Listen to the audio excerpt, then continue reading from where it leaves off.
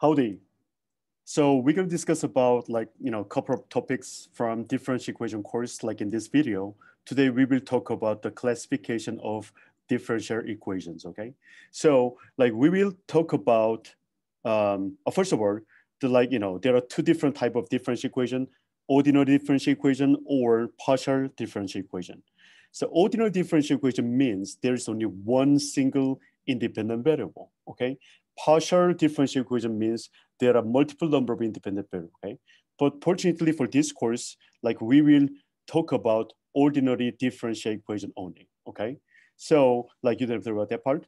And the second one, second issue is order, okay? Well, lots of students just confused about order and degree, okay? The degree is concerned with power of your terms, but order is concerned with the number of, I mean, the highest number of the derivative, okay?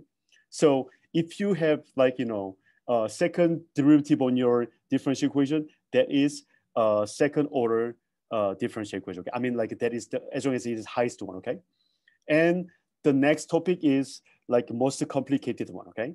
So which is linear or nonlinear, okay? So, well, even I stated like the meaning of linear and nonlinear in this uh, slide, but uh, like, you know, the, on the bottom one, that might be much easier to understand, okay? Look at number one.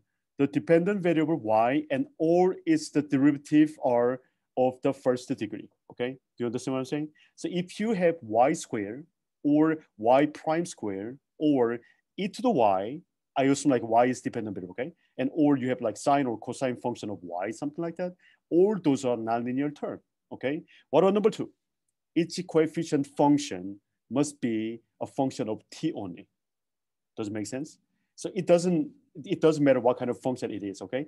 As long as it is function of t, and that's enough, okay? That is linear, okay? So let's let me give you some example problem here, okay? Look at that. Number one. So let's start from the order of uh, order of uh, equation, okay? So let me try to use um, um, green color.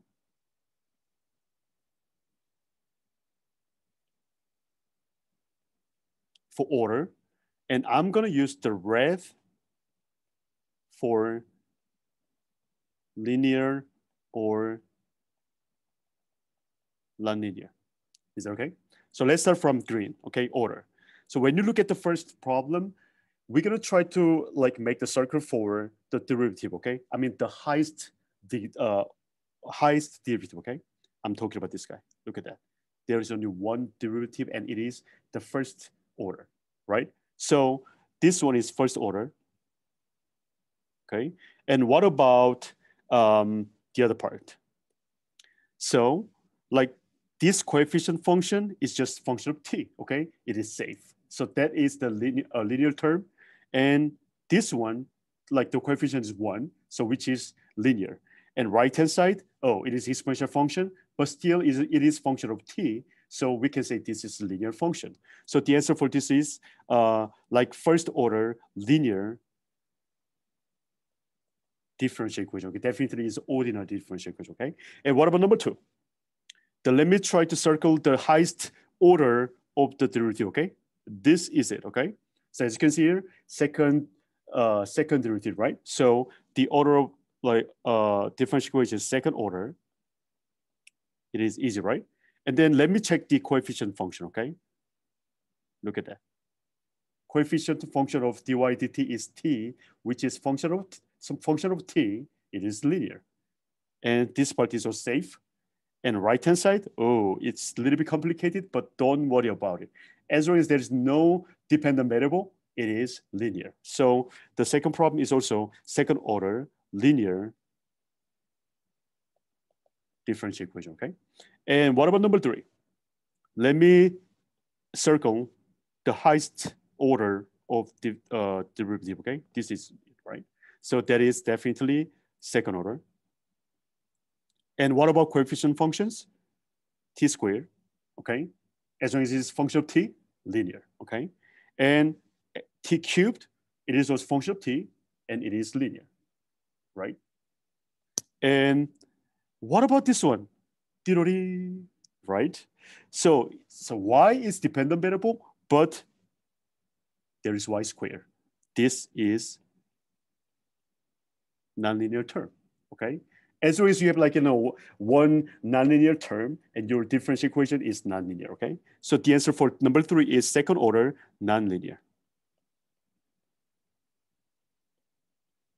Okay, and what about number four? Uh, let me circle the order. There we go. Second derivative, right? So this is definitely second order, okay? And then, oh, what happened here? your dependent variable y is inside of cosine function. That is nonlinear term. So the answer for this one is second order non-linear ordinary differential equation, okay? And number five, this one is a little bit higher than before, right? There is third derivative term. So this is third order differential equation. So let me check the like, you know, linear or non-linear, okay? coefficient function 2e, 2 e to the t, which is the function of t. So this is still linear, right? But look at that.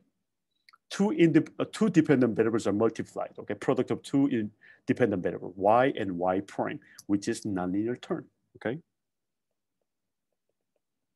So your right-hand side, two, t to the 4 is, as long as it's function of t, it is a linear term, okay? But for this equation, like there's only one nonlinear term, which is y times y prime. So the answer for this is third order nonlinear.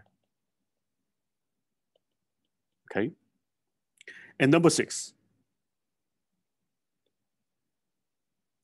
the highest order of the derivative is this one. So definitely it is third order. Okay. And let me check the uh, linearity, okay? Coefficient function is, it is function of t and it looks crazy, but don't worry about it. As long as there's no dependent variable in there, it is linear term. And right-hand side, it is also linear. So the answer for this one is third order linear differential equation, okay? And what about number seven? Well, it's really complicated, but just like be focused on the order first, okay? The highest order is here. The other one doesn't matter, okay? So the answer for this one is third order and what about linearity? Cosine t, oh, it's fine, right? And t squared, it is also fine. But wait a minute, what happened? Wow, y, which is dependent variable, and dy dt, the like, you know, the derivative of your dependent variable is multiplied, right? So this is nonlinear term.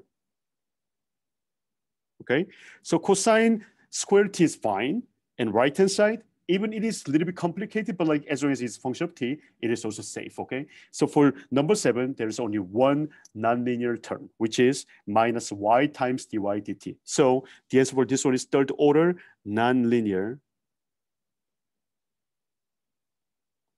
differential equation, okay?